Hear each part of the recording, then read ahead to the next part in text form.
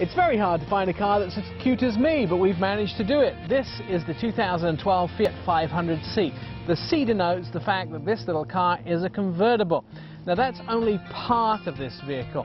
The 500 has taken America by storm and it's one of the favorite small cars that have been produced in 2011. This vehicle first showed up at auto shows and everybody never believed it would actually be released in the US. Well, Fiat brought it here, and now they're part of the Chrysler Group, and the excitement is building. They're doing a lot of different things with this vehicle. You get 12 different options of vehicles, 14 different colors. This is an original Italian design. But let's go back to 1957 when the first Fiat 500 was rolled out in Europe. It was a smaller car. This is a bigger and bolder design from the original. I know, hard to believe, right?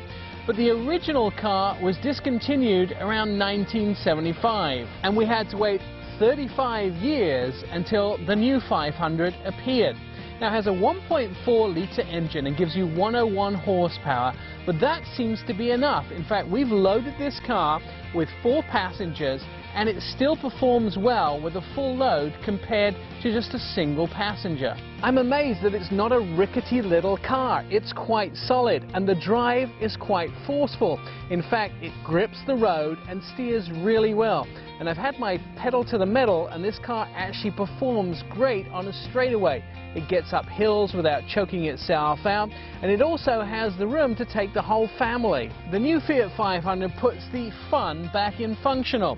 This vehicle is a lot of fun to drive and especially with the C version, the convertible, you can put the top down up to 60 miles an hour and then all the way tucked into the trunk at up to 50 miles an hour. And the great thing is they've thought about things in the engineering.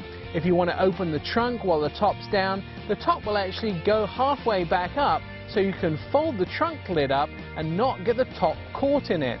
The vehicle also has all the amenities that you'd expect in a modern 2012 version of a vehicle.